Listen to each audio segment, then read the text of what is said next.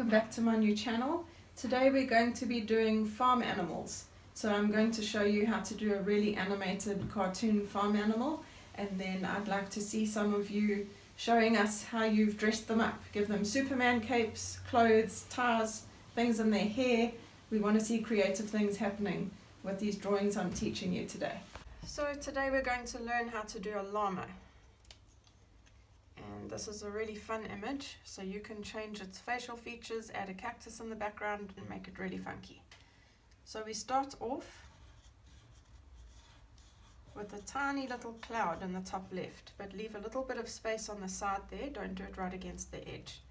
And then from that you're going to do banana shaped ears. And then we draw the whole thing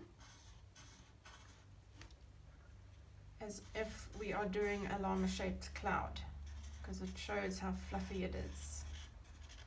So you take that down and around. If it's easier for you to draw that line in pencil and then go over that line with the blobs and Koki, it might be a bit easier. So you get the actual shape first and then do this afterwards if you'd prefer. So there's the two front legs. Then we go right against the edge here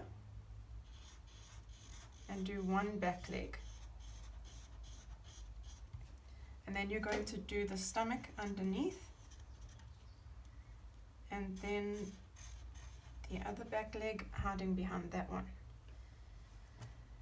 Then go back to, to the top, to its face and do a few blobs for its face and then we're going to go along for its back.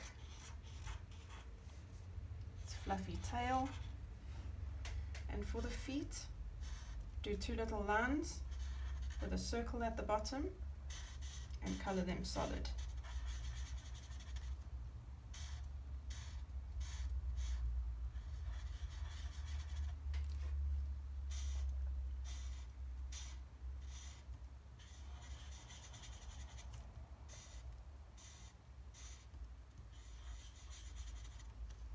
Okay, for the face, I like, because llama are so lazy and sleepy, I like to give them sleeping eyes, but you could give them laughing eyes the other way around, or two little open eyes.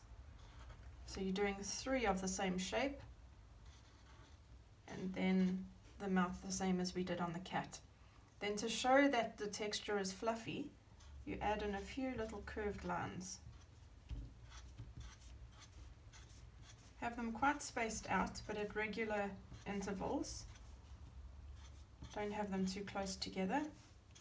It's just to create the illusion of the fluffy hair. And then you can add movement lines in wherever you want. And there's your llama. So here's our llama that we just drew and here's one that my daughter colored in for me. It's just been colored in with roll up. You could use paint or do this on fabric with fabric paints. Add in a carpet, a rug on its back, add a cactus in the background or whatever you like.